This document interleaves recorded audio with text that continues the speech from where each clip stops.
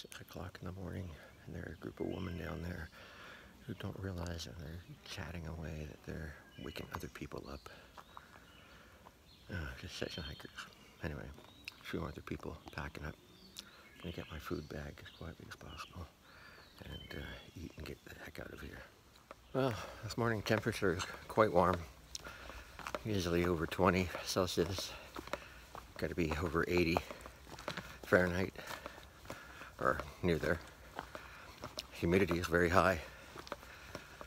Well, last night at one point I had to pull the quilt over my legs because they were just a little cool. But uh, the legs were kind of sweaty when I took it off in the morning. Oh, it's just so oppressive. Uh, I can see why people might hike during the day or in the morning and then set up and sleep in the afternoon in the heat and then get up and walk into the dark in the evening just to get through this. Whew.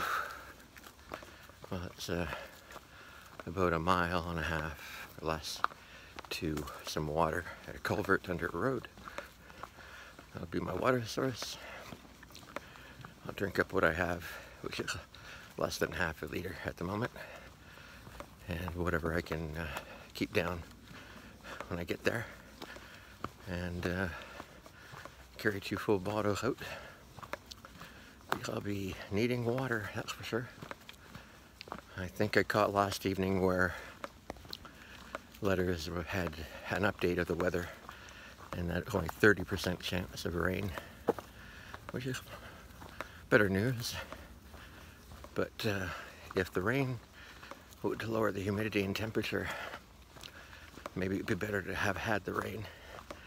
I don't know what uh, it's like here, so don't know if that would really happen. But uh, I think it's 19 miles to that memorial shelter, uh, fingerboard and then the memorial, and I think there's one after that, like 22 miles. I think just a little too far, but maybe the 19, depending on the terrain again and the heat. So right now it's just dirt and a fair amount of rock and uh, not much climb. I haven't looked at the uh, Guthook to see the elevation change, but I'm pretty sure I recall seeing it was a bit up and down. But uh, you know, we're only talking a couple hundred feet at a time. And if it's boulder as well, that slows you right down. You know, a mile an hour or less. Right now, in normal conditions, I'd be motoring along at maybe two and a half. But I'm just feeling like two now, and I'm feeling the sweat. I wear the hat because of the bugs that want to land in my hair, the beard, keeps my face warmer. Got warm boots. I put some DEET on uh, my legs and arms and neck and face and ears. Uh, use the cream later in the day when I'm close to uh, where I'm sitting up so I don't have to worry about that uh, DEET melting any of the plastic I might come in contact with. But uh, she's hot. And uh, I didn't sleep very well at all. At one point I thought I heard a, a woman yell, like, you know, in surprise or at an animal. And I could kind of hear what I thought were footsteps of animals, but I never saw a deer. I should have put earplugs in because the a little bit of noise and sometimes the buzzing of mosquitoes outside the net woke me up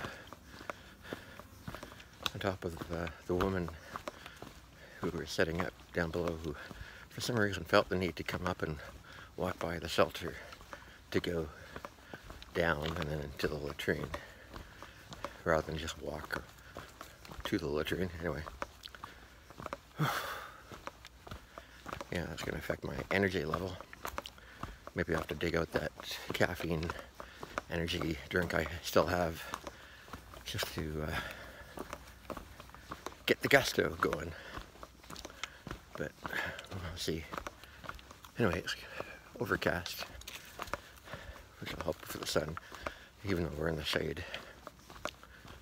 But uh, oh,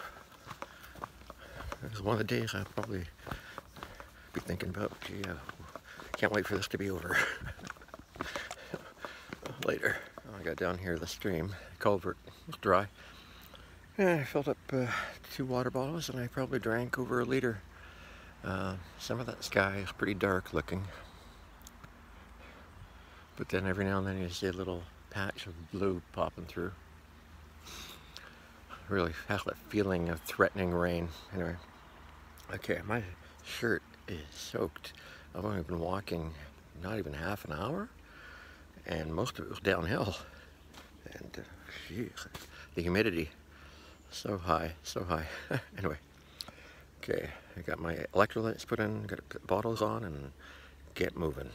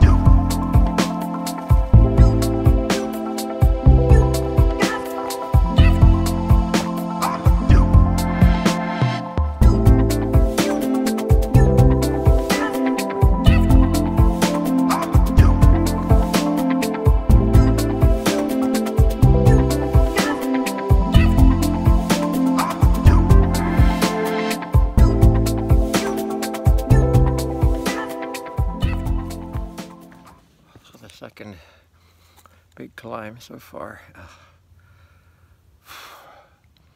My shirt, my pants were just so wet.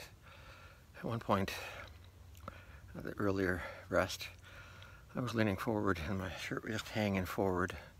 I mean, it's just so drenched and I just squeezed at the end, at the hem, and like three tablespoons worth of sweat just poured off. Oh, thankfully at the bottom of that hill, someone had left a water cache. I was able to fill up a, a liter, drink half a liter. Oh, I've got a liter and a half right now. And I know that there's a very steep downhill coming. Jeopardy is just back a few feet. He's, he's sitting in the sun. I gotta come into the shade. There's just hardly any air movement at all. So hot and humid and the exertion of going up these hills is wearing me out. Oof. I think when I get to that fingerboard shelter, that will be it for the day. However, you know, 12k or whatever miles, whatever it is. I am tired. Well, at the top of uh, one of the hills, got a text and then a phone call from Sarge. His uh, trip got cancelled and although he can't take me to his place because of complications with the girlfriend and kids and things like that, it's okay. he's here on the trail. And uh, I should be, oh, I think I see him there. yeah, yeah, I just see him there, up a couple hundred yards. So he's come to visit and he's brought water. nice to see him, I think. Past the bridge and past those bushes before the corner. That's where he came out. He was looking and waved at me. Hi, everybody. This is Sarge. Sarge. Here in New York. What park are we at? This is Harriman State Park in Okay. Orange County, New York. Yeah, and you brought You- some clementines and Even- water. Even though you're going to be walking north, you're right. Um, you're northbound on the trail. You're going to head south into Oh. Rockland County because Bear Mountain is in Rockland County, Yeah, there, south of here. there have been times when I've been on the trail and I'm walking into the sun and I'm thinking, there's something wrong here. and it's like you're doing a little bit of a loop some sometimes, like you're trying to reconnect to some other trail. But uh, in the end, it all adds up to uh, the Appalachian Trail. Yep. And I get the to the end. 18. Yeah. Well, thanks for. Uh, I'm proud of this guy. He's doing a great job. And I'll be back next year. Yeah, yeah, yeah, you do it again. Yeah, yeah. Now you have the experience, you'll have better equipment, and uh, yeah, you'll pick a better time of the year to go, maybe. Yeah. and you've been there, so yeah, yeah, you'll have that ment- mental uh, fortitude. Absolutely. Okay. Good seeing you, buddy. Yep.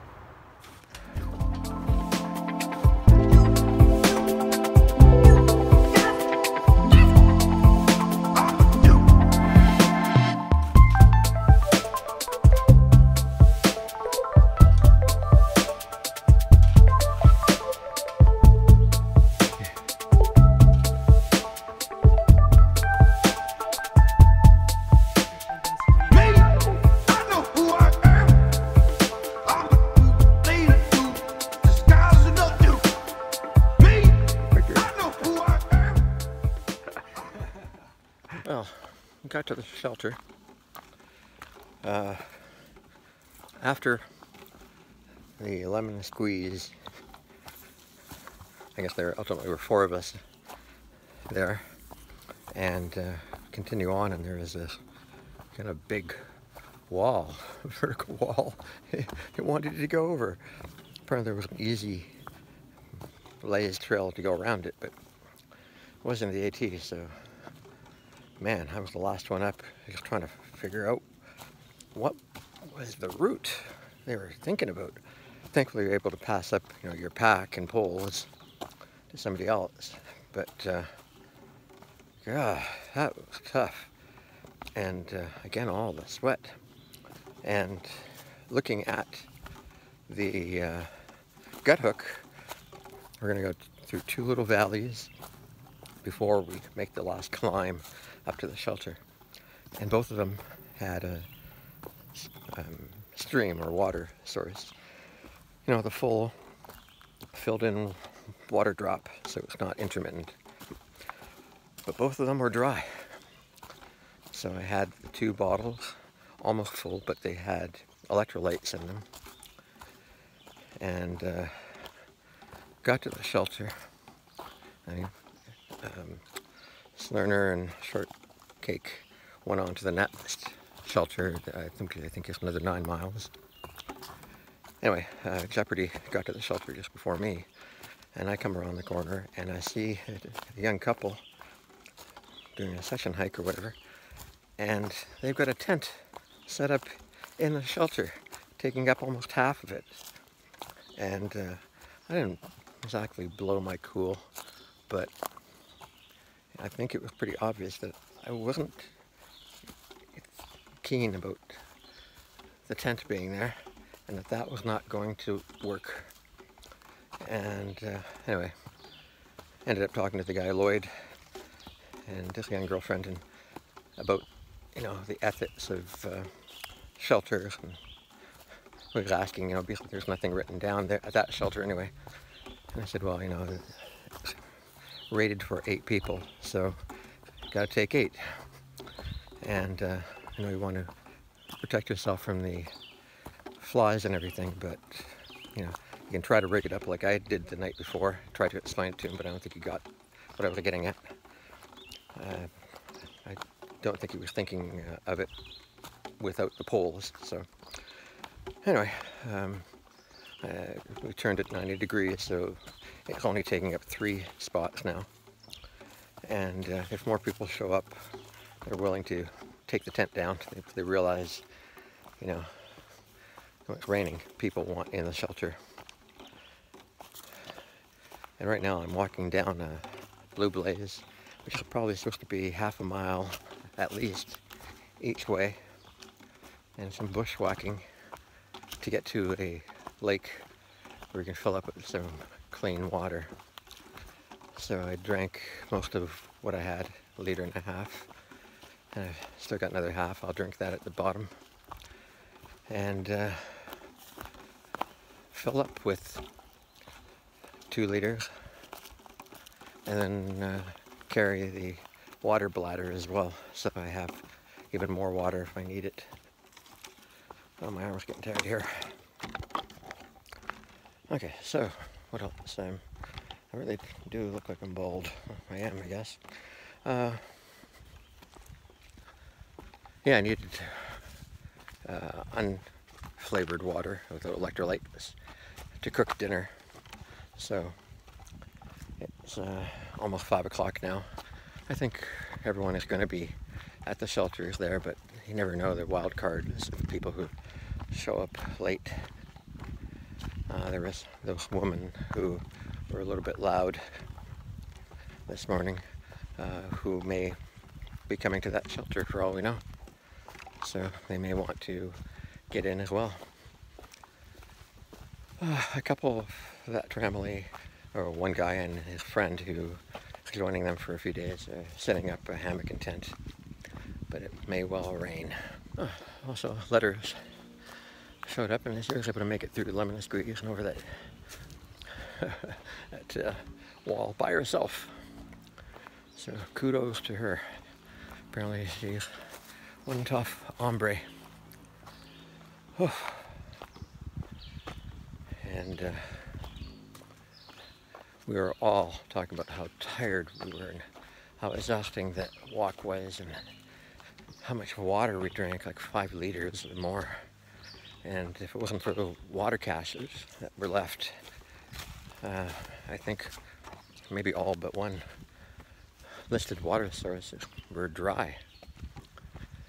So I guess that's a bit of a problem for tomorrow. I still have to figure out where I'm going tomorrow.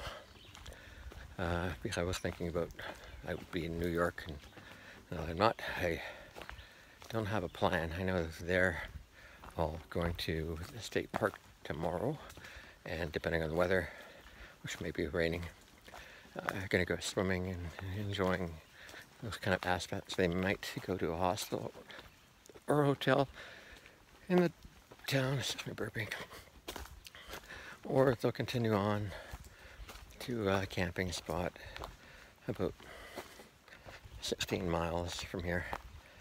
So I have to figure out what I'm doing.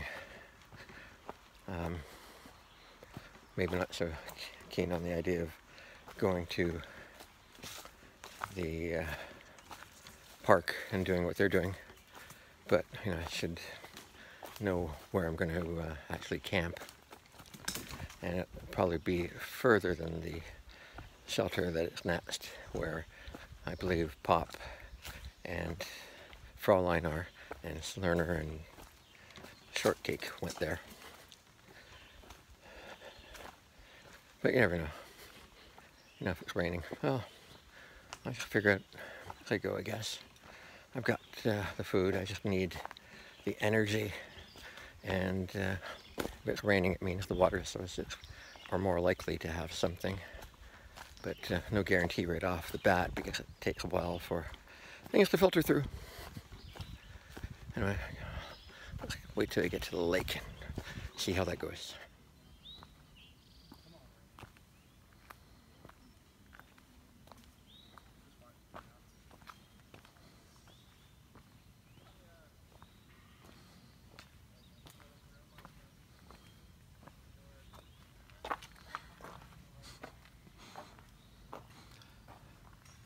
Shelter life.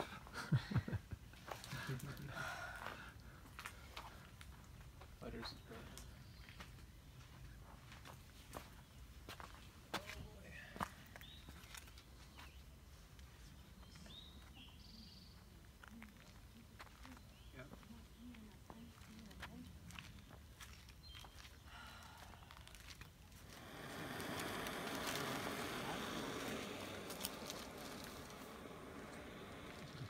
Different bear hang.